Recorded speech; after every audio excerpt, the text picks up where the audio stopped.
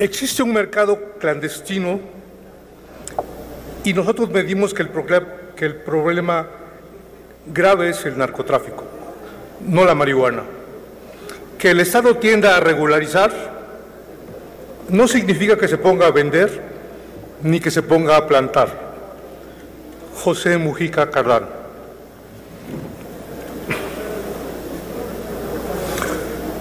Con su permiso, diputada presidenta, compañeras diputadas y diputados. Hoy estamos dando un paso de suma importancia en las libertades de las y los ciudadanos de este país.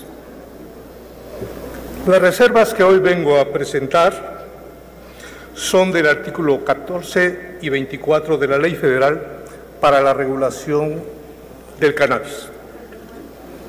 El artículo 14 señala, el Sistema Nacional de Salud deberá instrumentar programas y acciones para la prevención y atención del uso problemático del cannabis con fines lúdicos.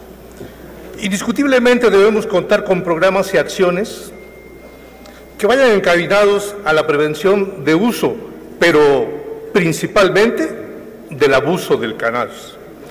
Sin embargo, para el diseño de estas estrategias es fundamental que no solo sea el Sistema Nacional de Salud el que las diseñe e instrumente.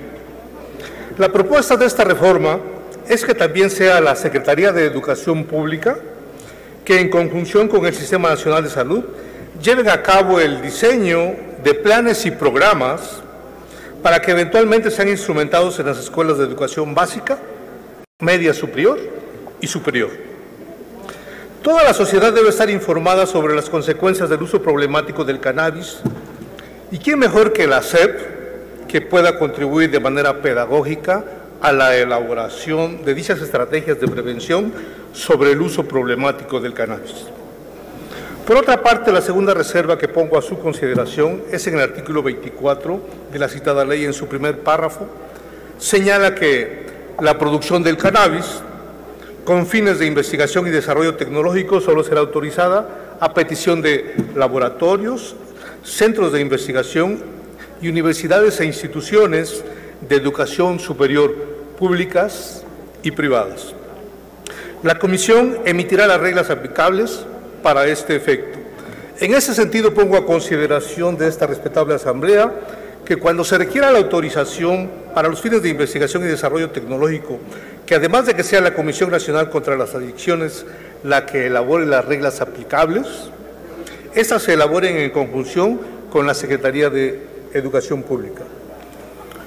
Como se ve, en estas reservas propongo que se incorpore la Secretaría de Educación Pública para que la SEP, con toda su experiencia, pueda contribuir a un mejor diseño en materia de prevención y a una elaboración de mejores reglas en materia de autorización para fines científicos esta reserva pretende fortalecer una ley encaminada al respeto de los derechos humanos de las personas y a la sociedad en su conjunto, pero de manera particular beneficiará a los científicos mexicanos de instituciones de educación superior, tanto públicas como privadas.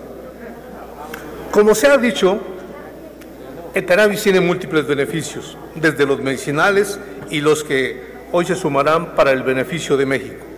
Estos beneficios son diversos, entre los que destacaré que se elimina el mercado ilegal del cannabis. Se activará esta rama económica de manera legal, generando empleos, ingresos y creando cadenas productivas en las regiones, a través de la comercialización y venta, en la que bastará con tener licencia expedida por la Comisión Nacional contra las Adicciones para producir y vender productos de cannabis y sus derivados en establecimientos autorizados. Se establece que los empaques y, etiquetado no deberán contener logotipo que evoquen el consumo de cannabis y deberán ser elaborados preferentemente con materiales sostenibles, reciclables, biodegradables y compostales. Producción con fines industriales, para el caso del cáñamo se otorgarán licencias por la Secretaría de Agricultura y Desarrollo Social para producir, transformar y comercializar cáñamo y sus productos derivados, lo que abrirá oportunidades de inversión y empleo en nuestro país en productos como fibras textiles, semillas y aceites ricos en grasa, combustibles ecológicos, materiales de bioconstrucción, celulosa para papel, cosméticos, aislantes, entre otros productos. En la cuarta transformación seguiremos avanzando en los temas que son de importancia para el desarrollo de nuestra nación, para la consolidación de una forma nueva de gobernar, más justa y más democrática. En Morena llegamos al poder público para transformar la vida nacional. Con esta reserva se contribuye a fortalecer la transformación del uso de la cannabis. Termino con una cita de Mario Vargas Llosa. Es un negocio tan grande, da unos incentivos tales que el Estado no puede competir con él. La verdad es que existe un mercado. La producción y la comercialización son el anverso y el reverso de una misma moneda. La despenalización de la marihuana es un paso arriesgado, pero por lo pronto eliminará toda la delincuencia y la violencia criminal asociada al narcotráfico, que está causando verdaderos estragos. Es cuanto.